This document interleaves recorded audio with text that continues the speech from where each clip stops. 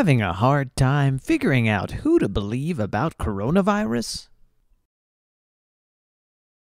Is all that mixed information out there just making you more confused? Well, worry no more. Because we have the solution that you've been waiting for. Introducing doctors. From the people who brought you pilots and engineers comes doctors. You know, those people who can magically reach inside your body and pull out your appendix without killing you? Yeah, those people. Turns out they know a lot more about virology than your dipshit acquaintances on Facebook. How do doctors work, you ask? Simple. Remember that super smart kid you used to cheat off in high school? Well, some of those kids dedicate the next 20 years of their life solely to mastering human physiology and treating disease. They do eight years of grueling coursework and anywhere from three to eight years of on the job training. The result is a person who ends up knowing a fuck ton about medicine. But I don't know any doctors, you say.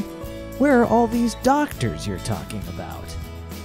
You may have stopped noticing while frantically keeping up with the Kardashians, but if you look closely, you'll see that doctors are all around you.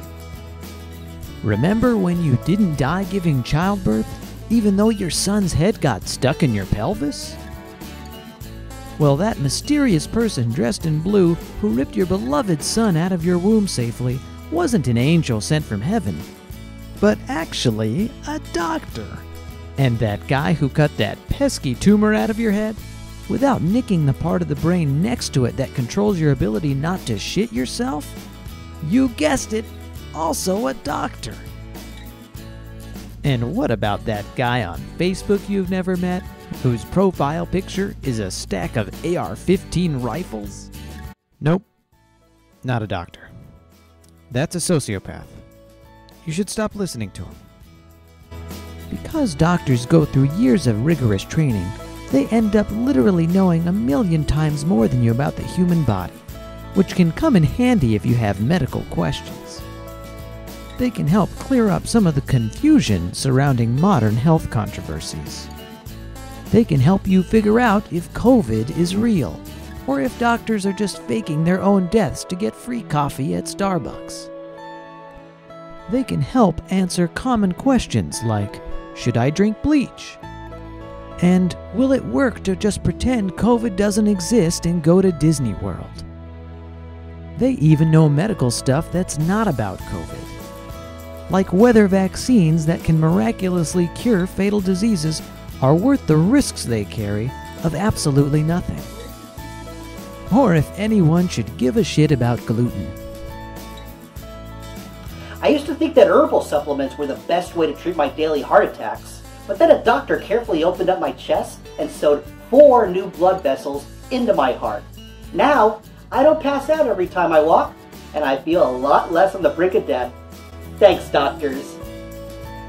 I was bleeding badly from a stab wound one day, and I couldn't tell whether or not to listen to my Aunt Susie, who told me to go to the hospital, or my Uncle Randy, who said that hospitals were just a money-making scam and to put vodka on it. Well, turns out Aunt Susie was right, and Uncle Randy ended up having full-blown schizophrenia. Thanks, doctors.